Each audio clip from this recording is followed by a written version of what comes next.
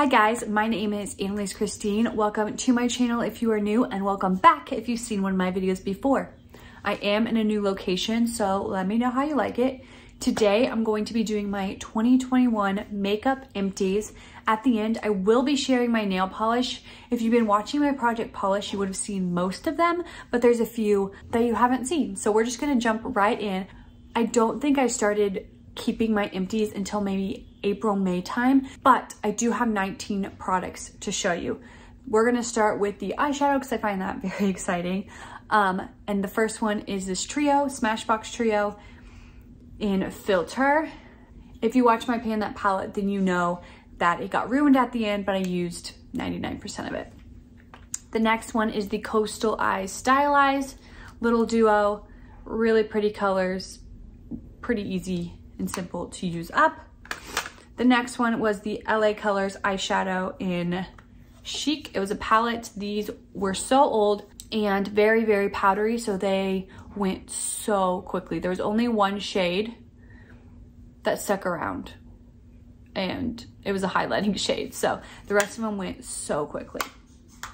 The next one is one that I've been working on forever. There's like no words on it anymore, but I know it's a Color Me Glow and I believe there's 12 shadows in it, but they were all shimmery.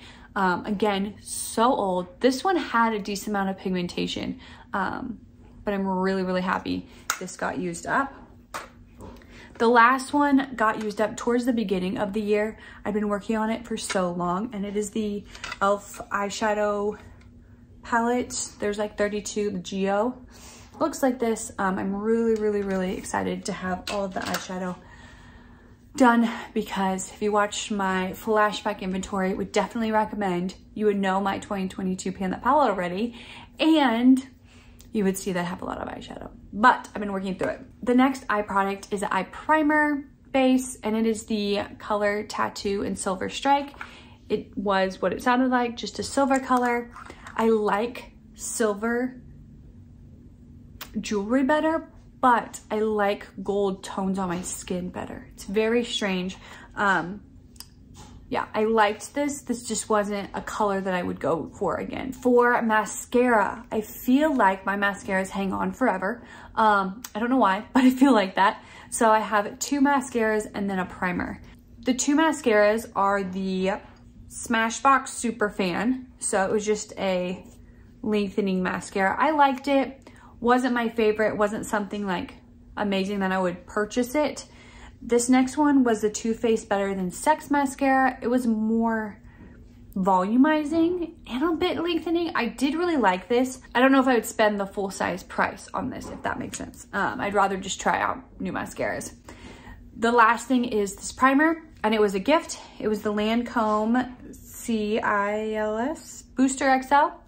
I love this. I've never had an eyeshadow or eyelash primer before. I love this. It made my mascara stay on all day long. I don't need that right now though, so I probably wouldn't um, purchase this. But if I ever did need my mascara to stay all day long, I would 100% think about purchasing this because it was so great. Now, like I said, I do not have any other eyelash primers to compare this to. So maybe I would try one of those. I don't know. This was just really great. The last eye product is an eyebrow product and it is the NYX Fill and Fluff in clear. it was had just like a wax on one side. So I would fill my eyebrows in with like pencil or shadow and put this on and it would make it stay. Again, all day long, just like the primer, it was amazing. I would definitely purchase this if I needed it to stay all day long and I was using a pencil or shadow eyebrow product. For 2022, I'm doing a lip product project pan because I have so many lip products. Again, watch my flashback inventory, you will see. And last year I only finished up three. I'm really happy I finished up three because two of them have been hanging on forever.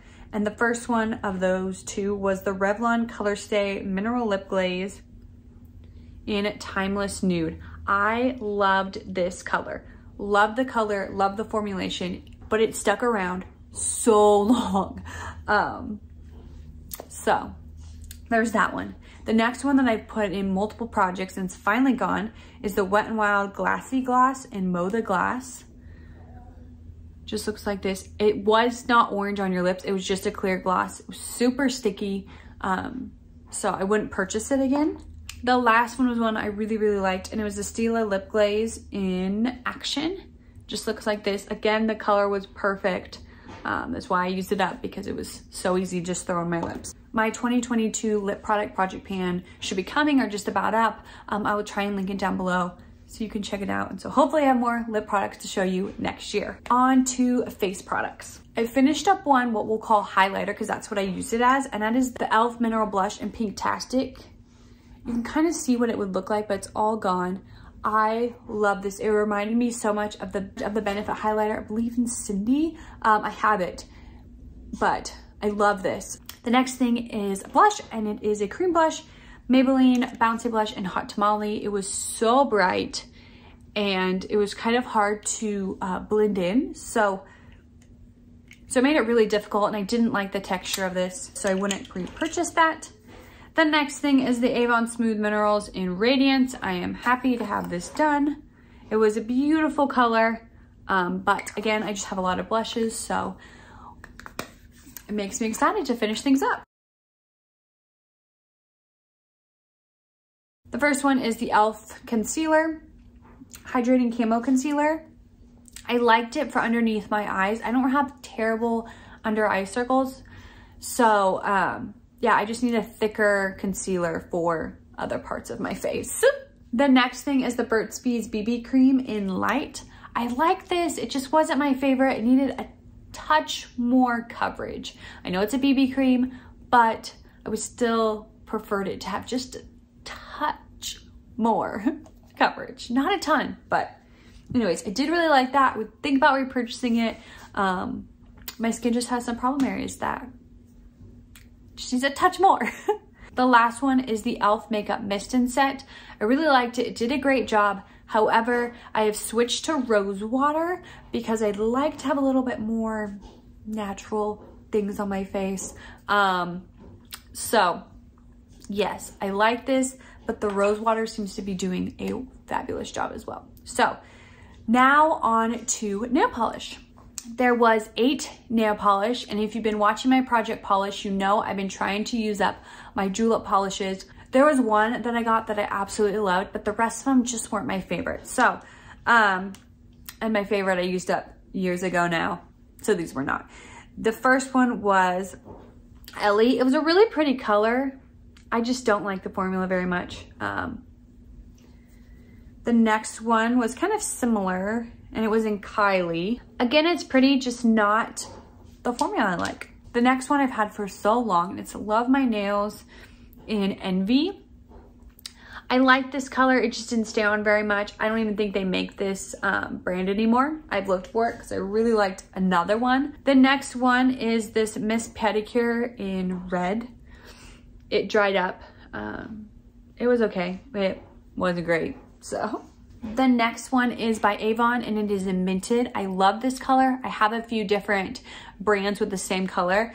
Um, I really liked this formula for opaqueness. It needed one, maybe two coats, but the lasting power just wasn't there. Um, so I wouldn't purchase that again. I think it's an older formula anyways because I've had that for a very, very long time. The next one is LA Colors nail polish in this blue color. I got it recently, um, but it was just so small and so easy to use up. I liked this blue.